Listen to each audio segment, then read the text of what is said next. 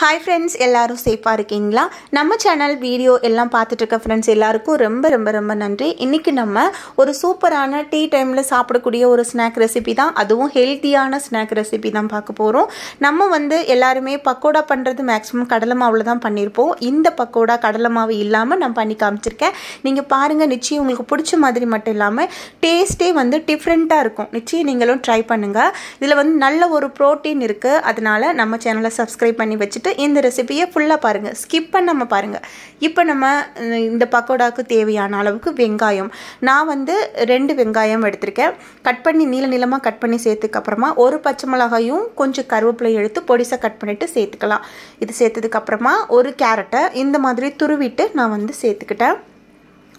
இது சேர்த்ததுக்கு அப்புறமா ஒரு கால் ஸ்பூன் அளவுக்கு கொஞ்சமாக சீரகம் கால் டீஸ்பூன் அளவுக்கு வந்து மஞ்சள் தூள் அதுக்கப்புறம் நம்ம இது ரெண்டும் சேர்த்ததுக்கு அப்புறமா காரத்துக்கு ஏற்றது மாதிரி அரை ஸ்பூன் மிளகாத்தூள் நான் சேர்த்துருக்கேன்.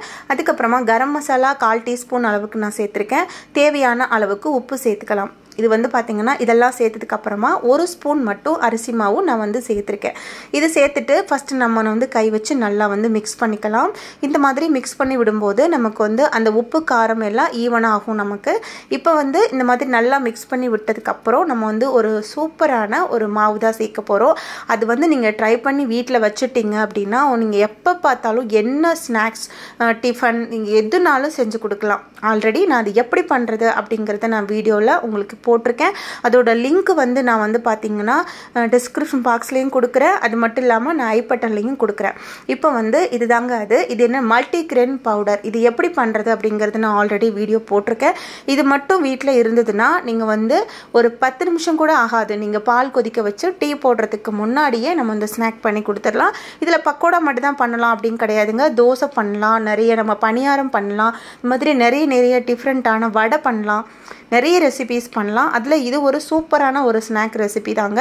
இப்போ வந்து நான் ஒரு கப்பு மாவுமே நான் ஃபுல்லாகவே நான் வந்து இந்த மாதிரி போட்டுக்கிறேன்.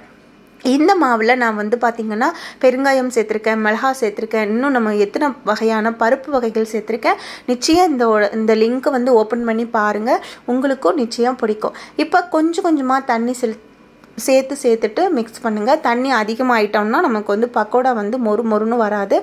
கல் மாதிரி மாதிரி இருக்கும். அதனால் தண்ணி வந்து கொஞ்சம் கொஞ்சமாக சேர்த்து சேர்த்து மிக்ஸ் பண்ணுங்கள் இந்த மாதிரி மிக்ஸ் பண்ணும்போது தண்ணி மிதமான சூட்டில் எடுத்துக்கோங்க. ரொம்ப சில்லுன்னு நார்மல் தண்ணி வேண்டாம். வெது வெதுன்னு இருக்கக்கூடிய சுடு தண்ணி தெளித்து தான் நான் வந்து மிக்ஸ் பண்ணுறேன் இப்போ இந்த மாதிரி நல்லா வந்து மிக்ஸ் பண்ணியாச்சு. இப்போ இந்த மாதிரி இருக்கட்டும். எடுத்து பக்கோடா போடுற மாதிரி இருந்தால் போதும். இப்போ வந்து எண்ணெய் நல்லா சூடு பண்ணி இருக்குது ஆல்ரெடி சூடாக இருக்கும் போது நம்ம எடுத்து கொஞ்சம் ஒரே இடத்துல கும்பலாக போட்டுறாமல் கை வச்சு இந்த மாதிரி விரல் விரல் வச்சு இப்படி தள்ளி தள்ளி இப்படி போடும்போது நமக்கு உதிரி உதிரியான பக்கோடா வந்து நமக்கு கிடைச்சிரும். இந்த மாதிரி போட்டு நீங்களும் நல்லா வேக வச்சுட்டு எடுத்துக்கலாம். சாப்பிட்றதுக்கு நம்ம கடலை மாவு சேர்த்துருக்க பக்கோடாவை விட அவ்வளோ சுவையாக இருக்கும். நிறைய இதில் ப்ரோட்டீன் இருக்கிறதுனால நம்ம சாப்பிடக்கூடிய ஒரு ஸ்நாக்குமே நம்ம ஒரு ஹெல்த்தியாக மாற்றி சாப்பிட்லாம். அவ்வளோதாங்க. நல்லா ரெண்டு ரெண்டு சைடும் நல்லா வெந்ததுக்கப்புறம் எண்ணெயெல்லாம் வடிச்சிட்டு பிளேட்டில் எடுத்து வச்சுட்டு இதே மாதிரி மிச்சம் இருக்க மாவு எல்லாத்தையுமே நான் செஞ்சு பிளேட்டில் வச்சுட்டு நான் உங்களுக்கு வந்து காமிக்கிறேன். நீங்களுமே இதை ட்ரை பண்ணுங்கள் இதில் சேர்த்துருக்க பொருட்கள் எல்லாமே நம்ம வீட்டில் இருக்கக்கூடிய பொருட்கள் தான். ஈஸியாக பண்ணக்கூடிய பொருட்களும் கூட. இப்போ இந்த மாதிரி பாருங்கள் நல்லா மொறு மொறுன்னு ஆயிடுச்சா. வெந்துருச்சு பாருங்கள் நான் இது மாதிரி எண்ணெயெல்லாம் வடிச்சிட்டு எடுத்துகிறேன் எண்ணெய் குடிக்காது. அது மாதிரி பக்கோடாவில் வந்துட்டு நம்ம கடலை மாவு சேர்க்காம சேர்த்துருக்கோமே எண்ணெய் குடிக்குமான்னு யோசிக்காதீங்க. எண்ணெயெல்லாம் குடிக்காது. ரொம்ப வந்துட்டு மொறு மொறுன்னு சுவையாக மனம் வந்துட்டு சூப்பராக மணக்கும். அந்த பருப்போட ஸ்மெல்லு வந்துட்டு நல்லா மணக்கும் நமக்கு. இப்போ நான் எல்லாத்தையும் பிளேட்டில் செஞ்சு வச்சுட்டு காமிக்கிறேன். இப்போ பாருங்கள் நான் எல்லாமே செஞ்சுட்டேன். நான் செஞ்சுட்டு இருக்கும்போதே சாப்பிட ஆரம்பிச்சிட்டாங்க. அவ்வளோ சுவையாக இருந்துச்சு. அவ்வளோதாங்க. இந்த ரெசிபி பிடிச்சிருக்கும்னு நினைக்கிறேன். நீங்களும் செஞ்சு பாருங்கள் பிடிச்சிருந்தா நம்ம சேனலை சப்ஸ்கிரைப் பண்ணி வச்சுக்கோங்க.